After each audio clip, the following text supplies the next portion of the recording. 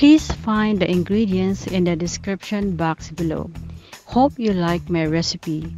Please like, share, and subscribe. Thanks for watching. Bye!